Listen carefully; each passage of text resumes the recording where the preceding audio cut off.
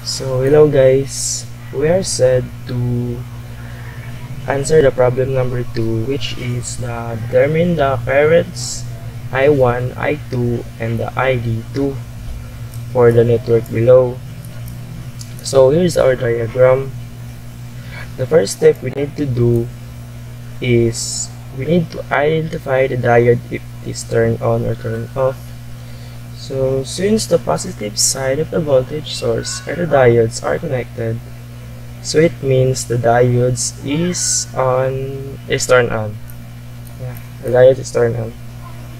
So the second step is we need to identify we need to know how much is I1 to know how much I1 since the voltage voltage across the diodes is 0.7 volts so the formula of I1 is equals to VK2 which is the potential diode over resistor 1.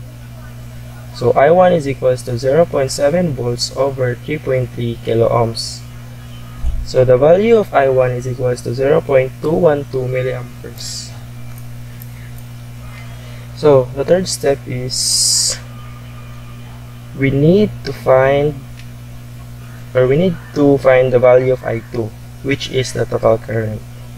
So in order to find the I2 we need to use KVL which is the formula is V2 is equals to E minus the identical voltage across the diode which is VK1 minus VK2 so V2 is equals to 20 volts minus 0.7 volts minus 0.7 volts is equals to the is equals to 18.6 volts which is the value of the voltage across the R2 so since we already have we already have the components for I2 and the formula of I, I2 is equals to V2 over R2 that means I2 is equals to 18.6 volts over 5.6 kilo ohms.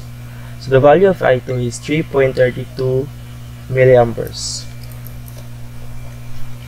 And lastly, we need to identify the ID2. Since we already have the I1 and the I2, and the formula of ID2 is ID2 plus I1 equals I2 in order to find the ID2, we need to transpose this I1 to the left right side or to the other side. Then ID2 is equals to I1 minus I2. So here it is. ID2 is equals to 3.32 milliamperes which is our I1 minus 0.212 milliamperes which is our I2. So the value of our ID2 is equals to 3.11 m milliamperes. That's all. Thank you.